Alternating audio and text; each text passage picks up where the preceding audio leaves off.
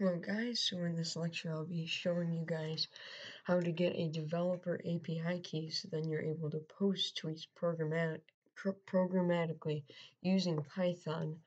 So here's my Twitter account that I've created and it's a bot account that I just made in like 20 seconds that we're going to be using for this course.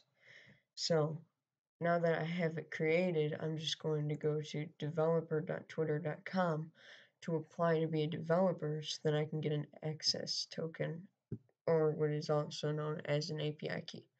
So once you would be on here, it would show um, a sign up, apply now. And so all you have to do is apply and tell like uh, what you are. So I put in um, I was a teacher and I was teaching YouTube or through uh, videos. So um, you would just put in like whether you're a student or a hobbyist or something like that, and then you would just hit the apply button. And then once you get accepted, if you get accepted, hopefully you do, then you should be able to see this whole dashboard and everything. So I'm just gonna go to my dashboard to show everything. So you can see all of your data on the dashboard of the Twitter developer website. And this basically just tells you like your limits and how close you are for certain stuff. And so to get our key, we just have to go to our apps. And I've already created this app, which is tutorial word of the day bot. Okay. So to make this, let me just delete this and then let's make a new one.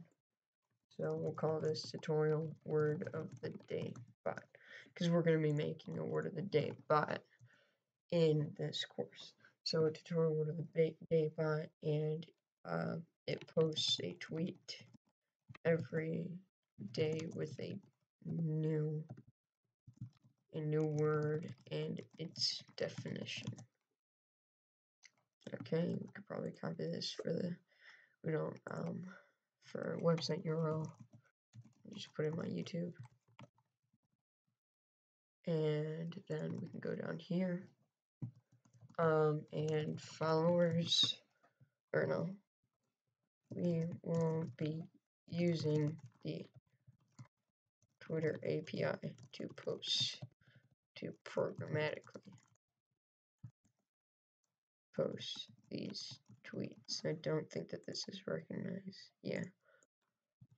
And then you just have to create, create as long as it lets me create this. Okay, yeah, it's created. So then we can see all of the data about our application.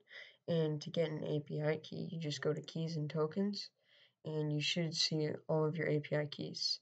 So you would copy these and put it into the file once we start getting into the actual code in the next part of this course. So that's it for this lecture, and I hope you watch the next one.